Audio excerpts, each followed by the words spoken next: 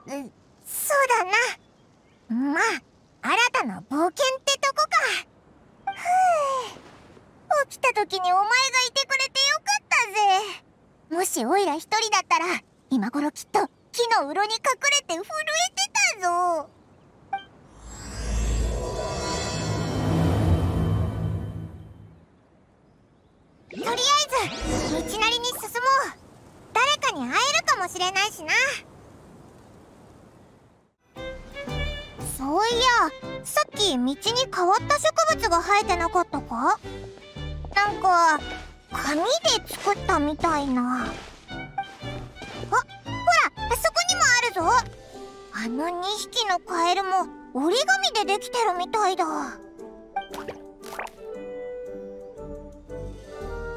もう勘弁してくれよシェーンブルン。まさか飛び方まで忘れちまったんじゃないだろうな。いやいやクラッカー忘れてないって。ただこれでいいのか自信がなくてさ。おいいい加減にしろよ。このままじゃアンプどころか歌い方まで忘れちまうぞ。なんで自分がシェーンブルンって呼ばれてるのか覚えてるか。声が綺麗だから。それは覚えてるよ。今じゃお笑い草だけどね。そうだ。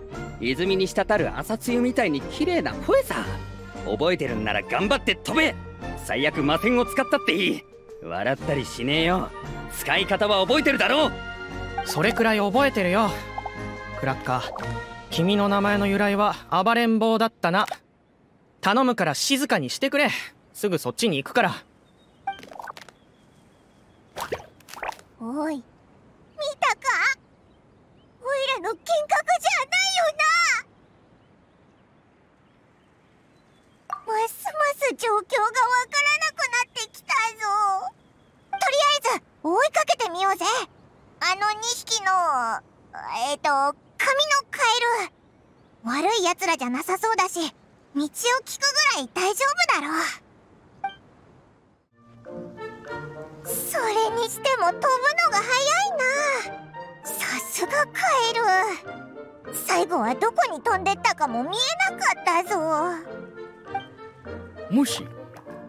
二人はあちらの予言の崖からいらしたのですかな？うわふふとちょネズミがしゃべった何ですと？誰が太っちょネズミですか？ちょっとばかり分厚い紙でできているだけです。私はアーモンドこの祝福の森の長老です。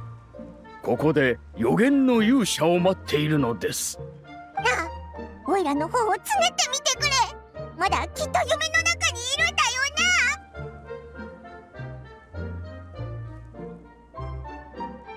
な。んと私がつねって差し上げましょうか。あただ腕が短いのでもうそっと近づいてくださらんと。よないや大丈夫だぞ。ちょっと冷静になりたかっただけだ。ふうえー、っと状況を整理するとここがオイラたちの知ってる世界じゃないのは確かだ。道端の木も言葉を話す紙の動物も普通じゃないぞ。異世界の勇者とその仲間がこの世界に再び平和をもたらすだろう。予言ではそう断言されておりました。おっと。私の壊れかけのアーモンド頭ときたら勇者殿の到来に興奮するあまりこの世界についての紹介を失念しておりました。私の髪はもう色あせる寸前なのかもしれませんな。ゆっくりで大丈夫だぞ。オイラたちもここがどんな場所なのか気になってたんだ。ふん。どこから話せばよいのやら。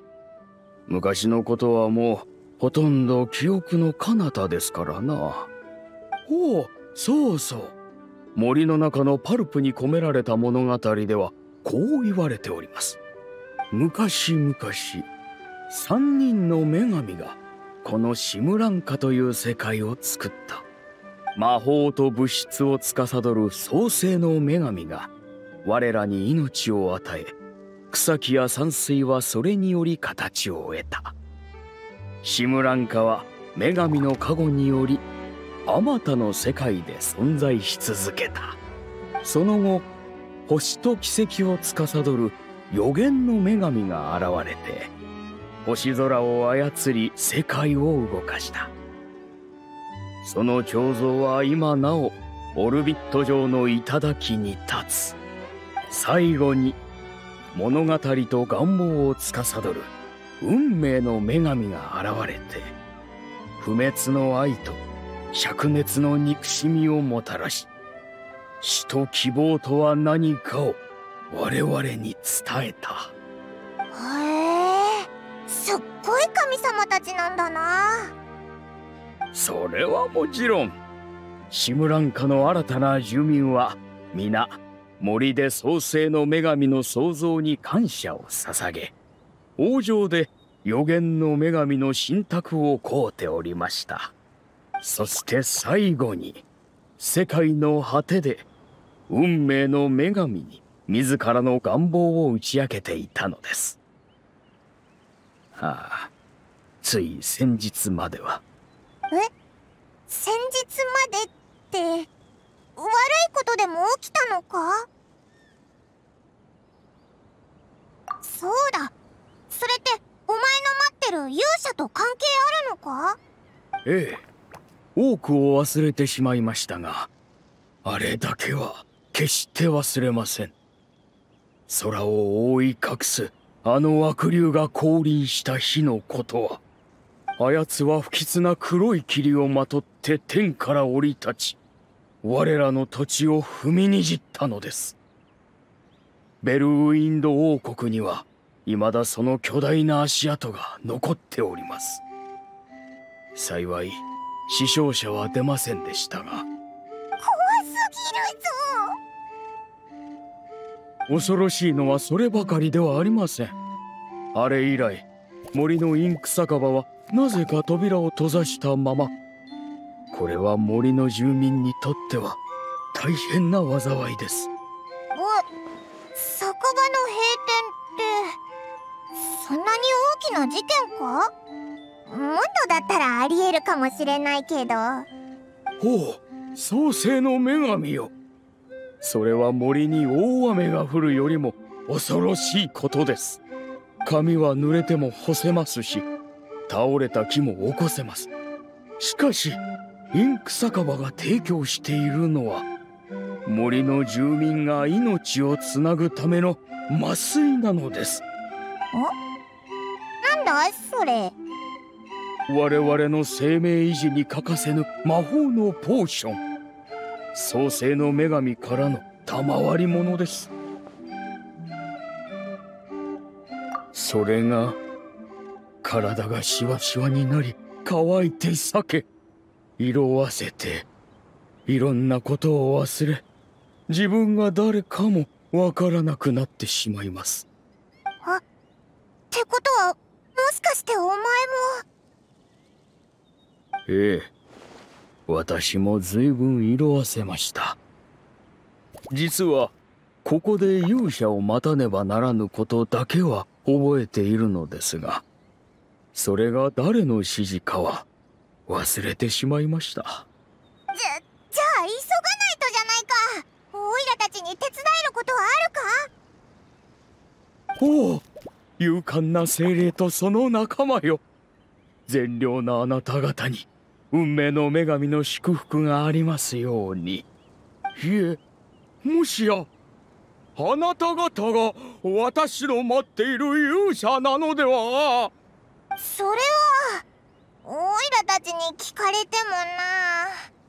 それに自分がどうやって来たかも忘れる勇者なんているか？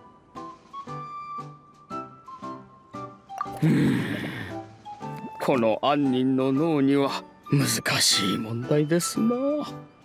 予言もそのようなことには触れておりませんしもしよろしければ私と共に祝福の小屋に来てくださいませんか。この森の妖精殿の住まいなのです。あのお方なら今後の道筋を示してくださるかと。森の妖精？じゃあ魔法とか使えるのか？はい。予言では勇者と共に冒険に赴く仲間とされています。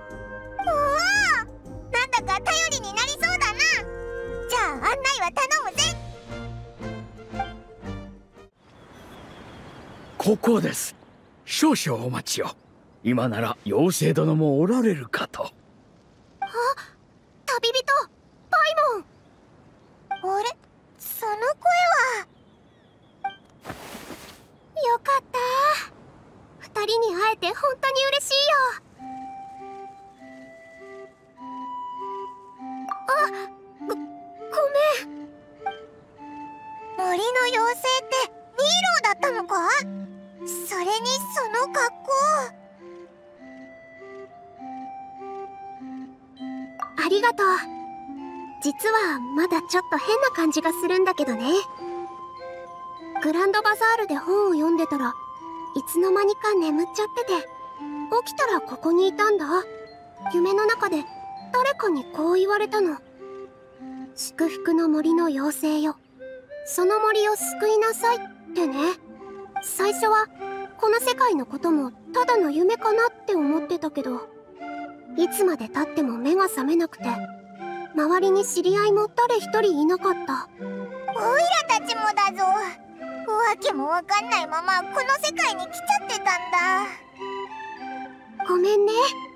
さっき会った時思わずテンションが上がっちゃって。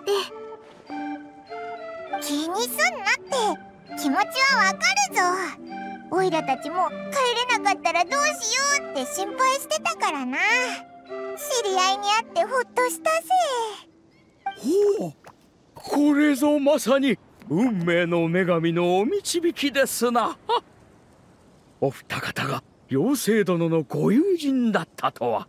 アーモンド長老二人を連れてきてくれて本当にありがとう。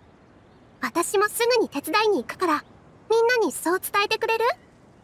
ええええ喜んで。私のナッツよそしてピーナッツの殻よ今日は実にいい日だ。さすがにイロもう森の住民たちと仲良くなったんだな。うん。昨日ここに来てアーモンド長老からこの世界の現状を聞いたの。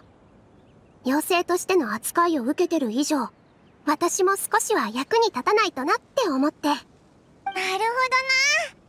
どな。まさか森の魔法かなんかで酒場を修理してやるのか？残念ながらこの世界の魔法をどうやって使うのかはわからなくて神の目の元素力も試してみたけど特に効果はないみたいだった。小屋にある本からしてここはみんなの言う創世の女神の仕事場だったみたいだよ。女神は本のページで動物を作って魔法でそれに命を吹き込んだ。そうやってこの祝福の森はできたんだ。本に魔法の使い方は書いてなかったのか？ざっと全部読んでみたけどこのくらいしか載ってなかった。アブラカダブラとは我が言葉通りに想像せよという意味である。この世界は言葉によって構成されており誰もが神秘の法力を手にする可能性を持つ。アブラなんだってまあとにかくみんな魔法を使えるってことだよな、えー、すごく大雑把だけど。他の本も読んだけどあまり細かいところにはこだわらない女神って印象だったよ。でこれからどうするんだ？さっき手伝いに行くとか言ってたよな。森の住民たちが酒場の再開に向けて準備してるみたいだから手伝おうかと思って。そうだなまずはできることからやっていこうぜ。正直私もちょっと緊張してるんだ。全く見覚えのないステージに立たされちゃった感じっていうか。でも衣装に着替えたからにはステージで踊るしかない。それでこそ一人前の踊り子だもの。そうやって踊ってたら自分だけの魔法だって見つかるかもしれない。そうでしょ？すごく前向きなんだうん。じゃあ行こっか。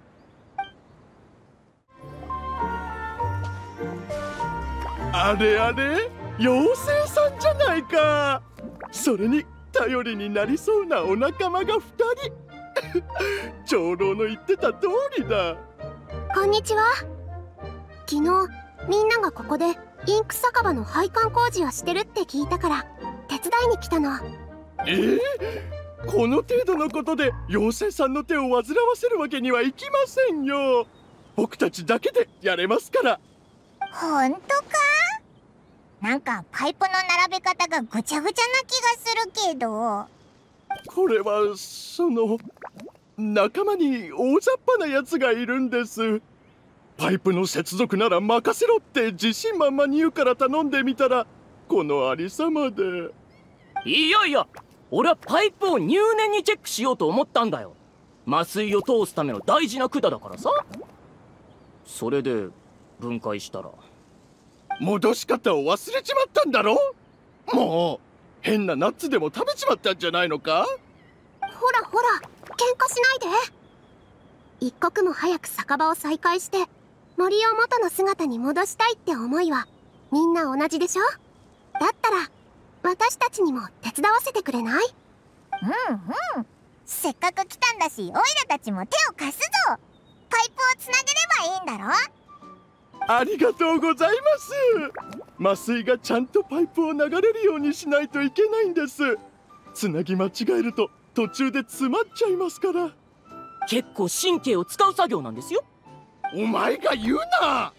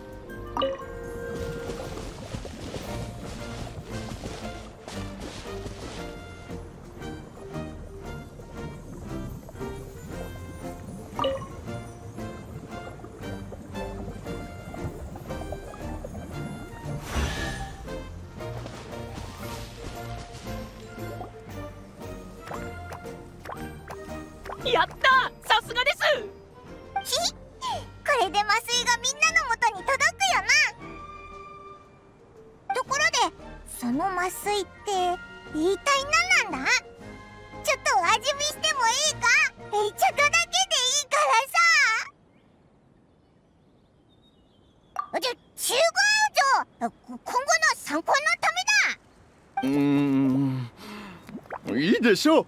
一滴だけならそんなもったいない実験用にと取り分けておいた最後の崇拝なんだぞ本当にちょこっとだけはいどれどれ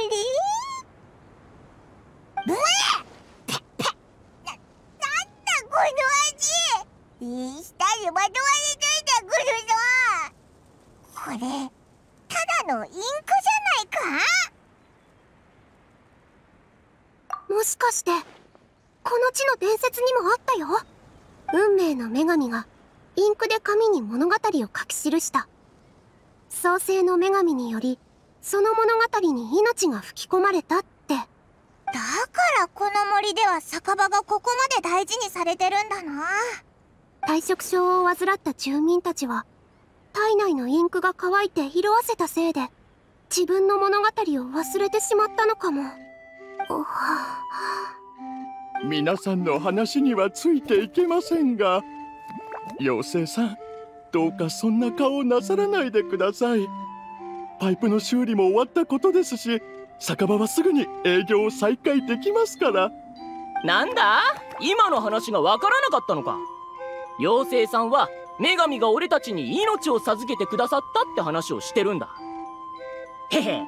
実は俺創世の女神に会ったことあるんですよ本当？お前僕と同い年だろ？昔一緒に運命の女神像に祈りを捧げたじゃないか。嘘をつくのも大概にしろよ。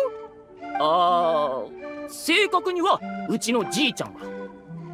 じいちゃんの話ではある日仕事が終わった後小屋の窓から創世の女神が命を吹き込む瞬間をちらっと見たんだとか。女神は俺たちの体を作るための髪を捧げ持ってそれに話しかけてた。そしたらぴょんぴょん跳ねる髪のカエルが一匹生まれたんです。まさに神業ですよね。自分が見てきたかのように言うなよな。へえ。女神の魔法ってもっとこうバチバチバチって感じで派手なのかと思ってたぜ。え？皆さんの世界では新しい命はバチバチバチって派手に生まれるんですか？なるほど。勉強になりました。あいやそうでもないけどさ。魔法だからって絶対に派手じゃないといけないってことはないと思うけど。お前が大ボラ服から妖精さんまで混乱させちゃっただろ？うんうんそんなことないよ。むしろおかげで色々見えてきた。ありがとうね。光栄です。旅人パイモン急いで次の場所に向かおう。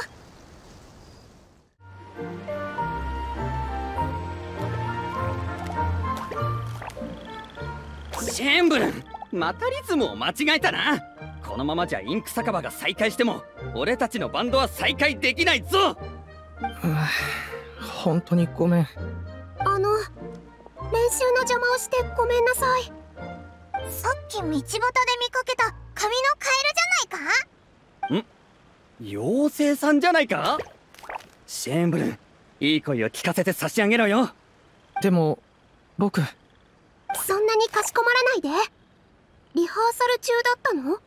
はいご覧の通り。俺たちはインク酒場専属のコーラスグループなんです。酒場が閉まってしばらくは失業してました。でも昨日森の妖精さんが来たって聞いてやっとまた歌えると思って。そんで張り切って集合したんです 気持ちはよくわかるよ。グランドバザールでもズバイルシアターのみんなはそんな風に忙しくしてる。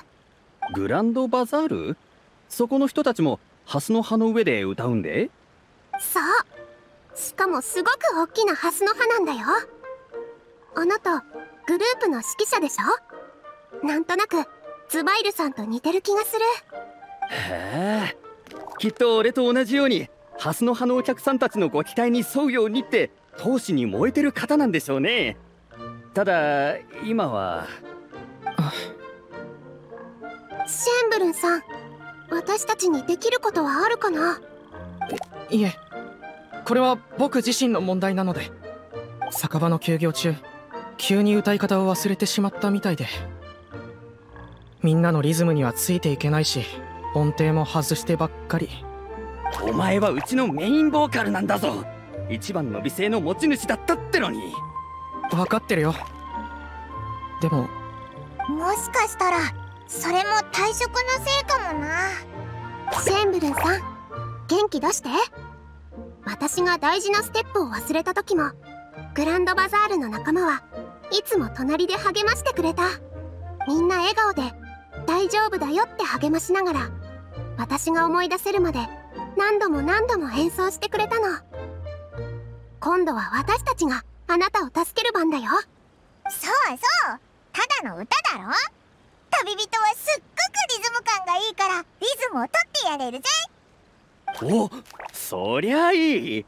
よしお前は歌詞を歌うことに専念しろ。リズムの方は妖精さんのお仲間に任せるんだ。本当に？いいんですか？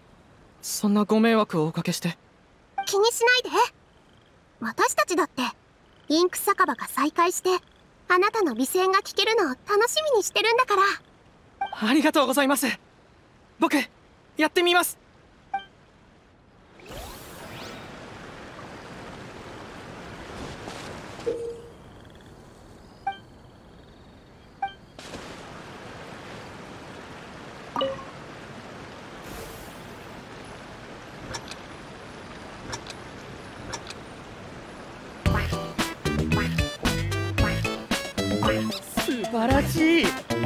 はバッチリだ。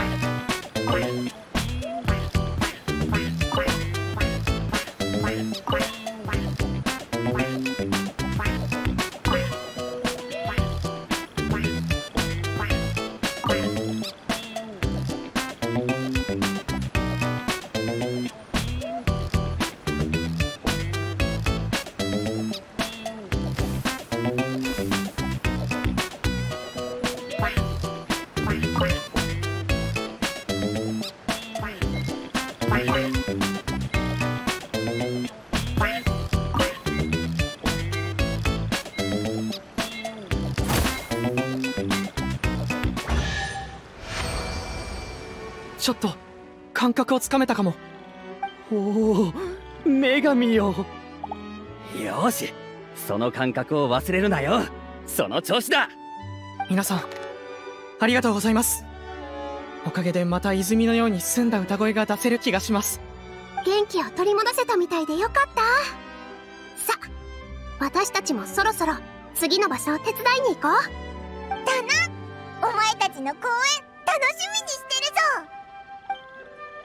残るはあと1箇所だね。出発しよ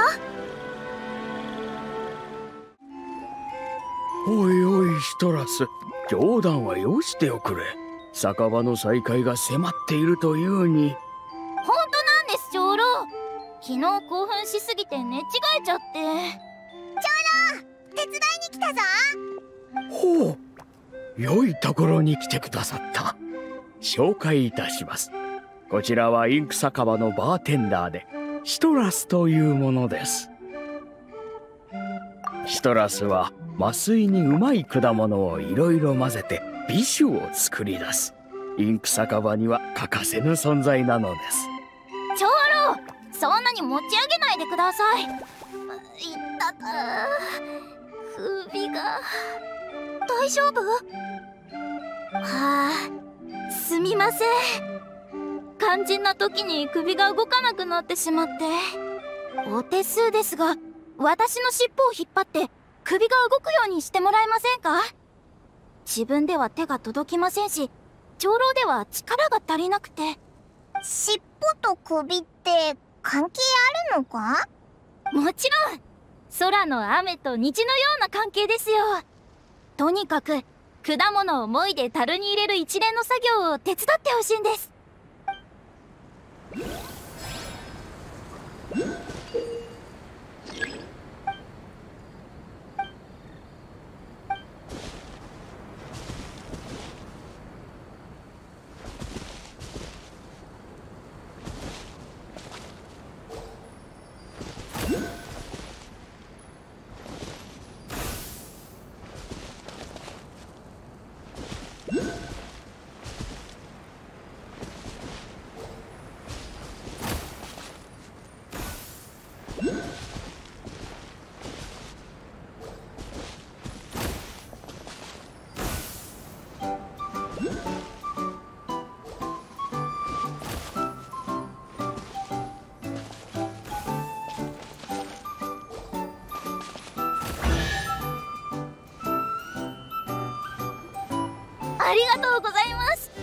首がかなり楽になりました。本当に関係あるんだな。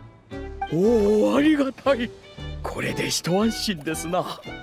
インク酒場は今まで通り美味しい飲み物を提供できるはずです。これで一丁上がりだな。手伝いはほぼ終わったみたいだな。あとはインク酒場を開けるだけだろ。でも魔法の使い方とインク酒場が閉店した理由はわからないままだね。なんなら太っちょネズミの言ってたな方法を試してみるのはどうだ？あの子のおじいさんが小屋の外から見たっていうあれ？うーん。創世の女神はどうやってみんなに命を吹き込んだのかな？うーんとりあえず真似してやってみたらどうだ？森の妖精って呼ばれてるわけだしもしかしたらもともと魔法が使えるのかもしれないだろ？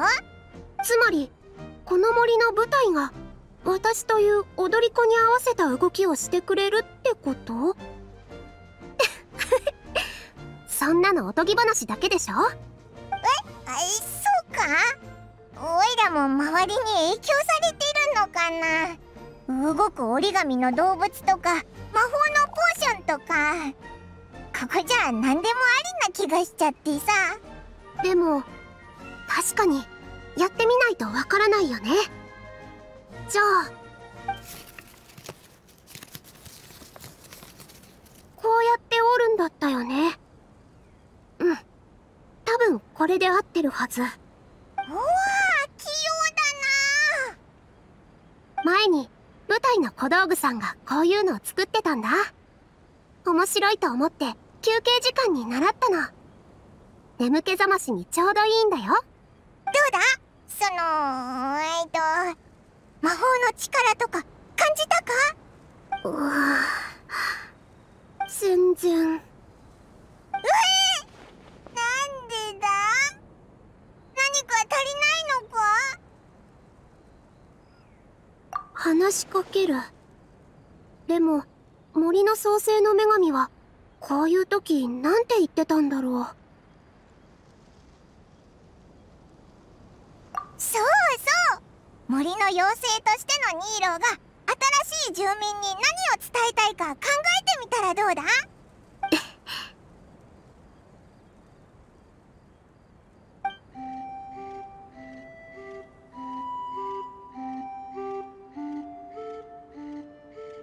あなたに森の祝福をあなたが森の一員になれますように。パチサラと名乗りどうかあの花のように。この世界で美しく咲き誇って。はあ。私パティサラ？おお本当に成功したぞ。私のナッツよ。そしてピーナッツの辛いこのアーモンド。この年になってかような神業を目にするとは思いもしませなんだ。伝説の創世の女神の魔法と全く同じですな。ピーナッツの殻？アーモンド？はじめましてパチサラ。私はニーロ。この森の妖精なんだ。今日からあなたは森の一員になるんだよ。はじめまして。妖精のニーロお姉ちゃん。どうかあなたがここで楽しく成長できますように。成長この森の新しい仲間はひとまず私にお預けくだされ。いやー懐かしい。森で歓迎会を開くのは久方ぶりです。ほーらパチサラ。アーモンドおじいちゃんのところにおいで。ニーローが魔法をマスターしたんならインク酒場を開けるんじゃないか？あのアーモンド長老何人か酒場の地下に呼んでもらえないかな？もちろん構いませんが理由を伺ってもよろしいですかな？さっき魔法を使った瞬間あそこに違和感を覚えてきっとそれがインク酒場閉鎖の真の原因なんじゃないかな？なるほど。お安いご用です。パチサラもアーモンドおじいちゃんの言うことをよく聞いて。勝手に走り回ったりしちゃダメだよ。パティサラ言うこと聞く。走る。こらお前という子は待ちなさい。さすがニーローが作った子って言うべきか。やけに元気だななあさっきは一体どうやったんだ？えっとあの子の幸せを祈る気持ちを言葉にしただけだよ。本に書いてあった通り言葉そのものが魔法なのかもね。すごく童話っぽい解釈だな。だからこの森は祝福の森って言うんじゃないかな。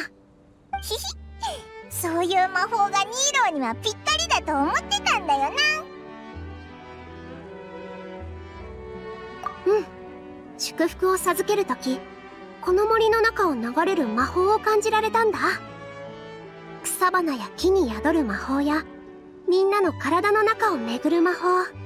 でもインク酒場の地下にはガランとした空間があって何も感じられなかったの。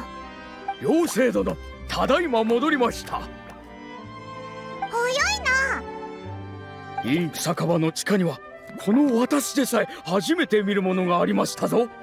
透明で叩くとゴンゴンと音が鳴る。透明なもの？はわかった。えなんで今のでわかるんだ？パイモンも童話っぽい解釈をしてみたら？そう。正しくは空のインク瓶かな。パイモン麻酔の味を覚えてる？ああそういうことか。旅人パイモン。私と一緒に材料を取りに行ってもらってもいいかな。そういえば小屋の本に麻酔の材料が書いてあったんだ。もちろんだぞ。何が欲しいんだ？えっと永遠に沈まぬ夕日陸を泳ぐ金魚それから夜にしか咲かない月。変なものばっかだな。おおめちゃくちゃ早いな。童話ってなぞなぞじゃないだろ。ちょっと待ってて。部屋からインク瓶を持ってくる原材料は美味しいものだらけなのになんで最終的にはインク味になるんだろうな。今回はオイラも遠慮しておくぞ。お待たせ。えっと確か本にはこう書いてあったはず。こうして次はそれで。できた。うわめちゃくちゃ便利だな。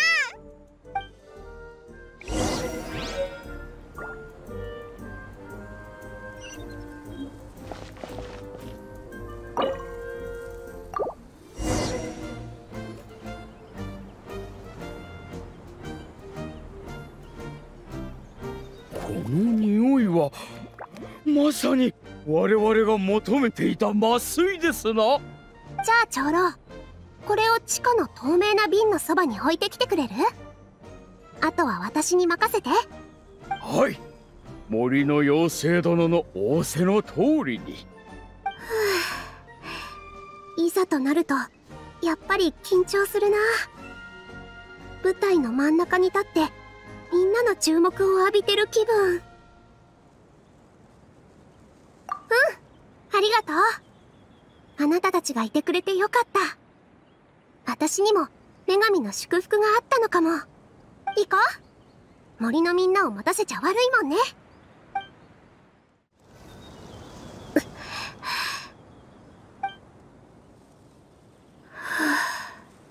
森よ。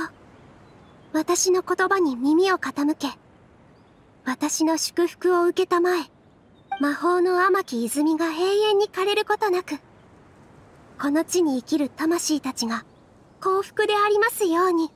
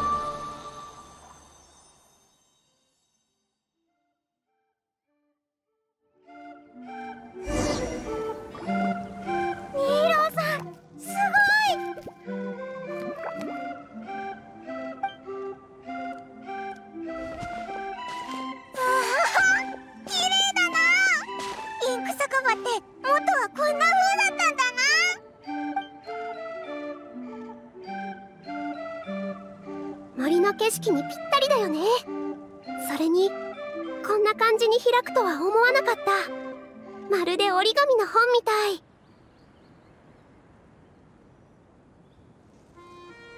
そうでした。何もかも思い出しましたぞ。私がこの私がオルビット城の頂上で予言の女神に信託を求めたのです。この世界を救う勇者が予言の崖に降臨する時勇者とその仲間がこの世界に再び平和をもたらす今まで予言の前半を忘れてたのかそれゆえ私はあそこで待っていたのですな。これは良い。犯人の脳もまだまだ捨てたものではありませんぞ。予言の崖って大きな壁画があるとこか？オイラたち確かにあそこで目覚めたぞ。でも何も覚えてないし服装も変わってないけど本当に勇者なのか？間違いありません。あなた方は妖精殿と共に祝福の森に新たな活力を与えてくださった間違いなくこの森にとっての勇者です。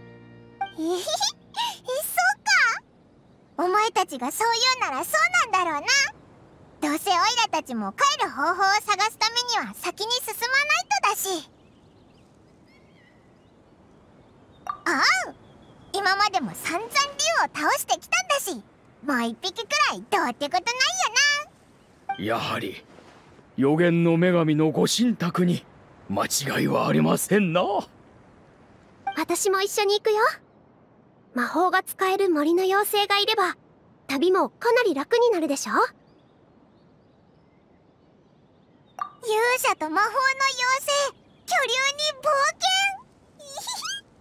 本当に童話の出だしみたいだな。皆さんの次の目的地は対岸のオルビット城のようですな。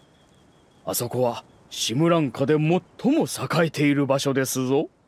お城のてっぺんにある星の庭に行けば予言の女神があなた方の探している答えを授けてくださるやもしれません。ニーローさん。行っちゃうの？うん。他にも助けが必要な人がいるからね。でもそう遠くには行かないし時間ができたらまたパチサラちゃんにも会いに来るよ。だからいい子にしてるんだよ。おじいちゃんのお手伝いをしてね。うんそうする。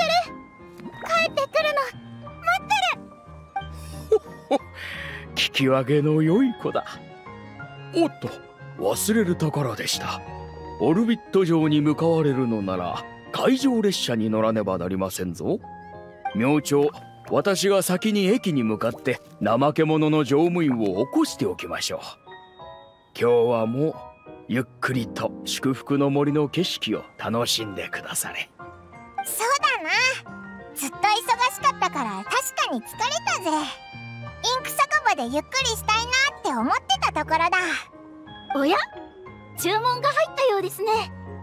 あうバブルオレンジ味の麻酔を頼むぜ。えっと麻酔抜きで。